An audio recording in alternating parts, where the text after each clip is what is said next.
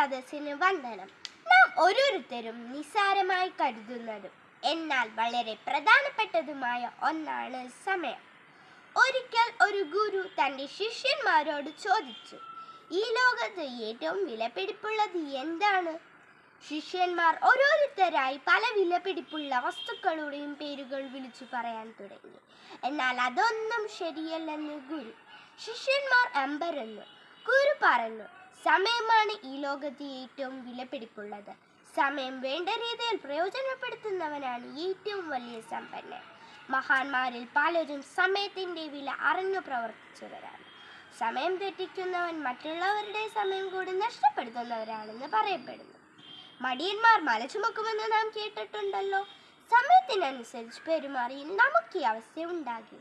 സമയവും തിരകളും ആർക്കു വേണ്ടിയും കാത്തു നിൽക്കാറില്ല. എന്ന പ്രശസ്തമായ ഒരു പഴഞ്ചൊല്ലുണ്ട്.